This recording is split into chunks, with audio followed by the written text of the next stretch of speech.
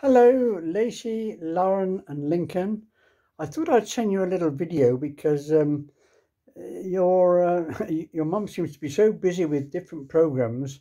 I uh, I find it difficult to find the right moment because I would like to talk to you personally.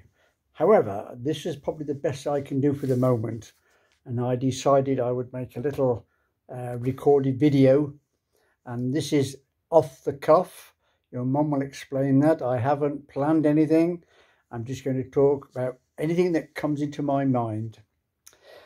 Well, I've been looking at some of your antics, uh, and you've been, you're always busy. I think it's all in your, like your mum, it's in your genes. Um, you just have this uh, wanting to do things and succeed. And that's great, it really is. Um, it warms my heart. I see that uh, you're even cooking your own breakfast. And uh, I remember Larryn showing us what she'd cooked. There was a, uh, was it an omelette on toast? And there were some kind of donuts there. They looked like uh, scones to me, what we call scones, but I don't think they were a real donut because they hadn't got the hole in the middle. But anyway, it must be something that you enjoy at breakfast time. And I see Lacey was cooking, uh, she'd been cooking the same.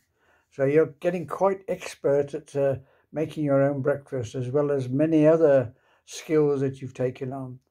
Using all the cooking uh, implements and the mixing machine and so on. Um, as long as you work safely and don't put your fingers in the bowl. anyway, it's good to see you make such good progress.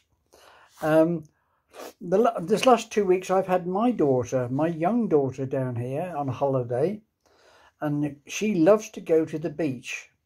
In fact, we've been to the beach every day for two weeks except one day.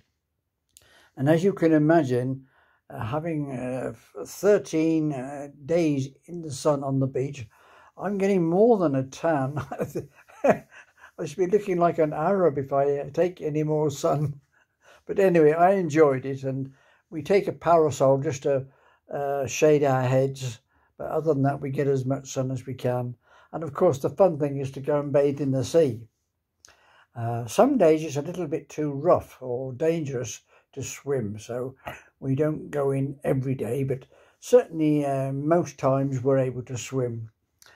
Uh, the only thing we have to look out for are what we call jellyfish or Medusa, as they call them in Spain. And it is like a big lump of jelly, but it has long legs like an octopus.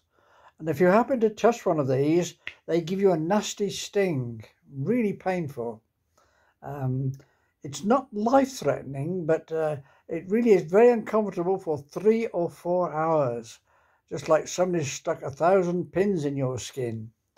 Um, I've only ever come across this once, and I was swimming and a jellyfish went past my forehead and immediately I knew because there was this terrible pain on my forehead.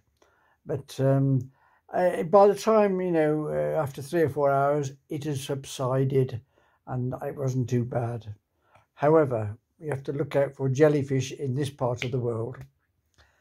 So um, yesterday uh, or the day before, um, we had a different a, a, day off from the beach, and we went to a little village called Frigiliana.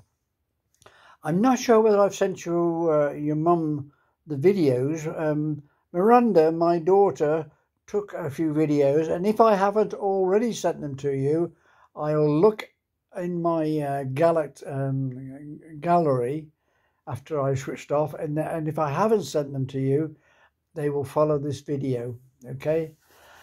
You'll see it's quite a quaint place, uh, very narrow streets, cobblestones, lots of little gift shops. I'm sure you would love it. It's uh, very quaint, as we say, quite the opposite to the big cities or the towns. And there were many, many tourists there, which um, which all adds to the uh, holiday feeling. Anyway, it was almost too hot and we didn't go on to do another uh, venture, which was look for what they call the Lost Village, which is called Acebuchal. But it was so hot, we decided to come home early, and uh, my daughter wanted to swim in the pool because we do have a community swimming pool on the campus. And so she loves that. And at the end of each day, she loves to go in for a swim. Anyway, I think that's about all my news for the moment. I don't go on any longer because I don't think the phone is capable of uh, downloading any more memory. So I'm going to stop at this point and forward this to your mum. Okay. Bye bye, my lovelies.